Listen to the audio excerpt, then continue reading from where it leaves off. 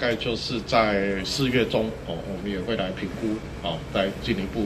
啊，在整个啊紧急的这个啊供水的这个状况，是不是有在补强的地方哦？因为现在是本田期，我们的农作现在是在本田的，看不用最的哦。那抽水期大概会发生在四月中、四月初左右。就可能会需要用比较多的水啊，所以进一步的限制啊，或者是啊管制的措施，会来视情况来再做调整。我们的目标以现在水资源开发啊跟水井开凿的一个目标，都是希望说到四月底，呃供水没有问题，哎，但是也要配合节约的用水相关的多元的管道